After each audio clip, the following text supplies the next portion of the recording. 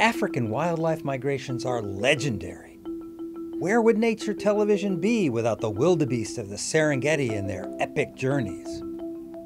So it was quite a surprise when scientists tracking zebras found a new, undocumented migration. Not only was it new, but at 500 kilometers, that's about 310 miles, it's the longest migration on the continent. Researchers wanted to track a herd of about several thousand zebras. They shot eight zebras with tranquilizer darts so they could outfit them with GPS collars without the zebras being too upset.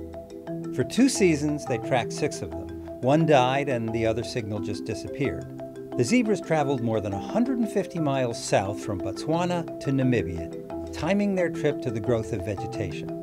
After spending two or three months, they drifted back. Fortunately, the whole migration lies within a proposed conservation area that spans both nations. That's a good argument for making preserves everywhere as big as possible.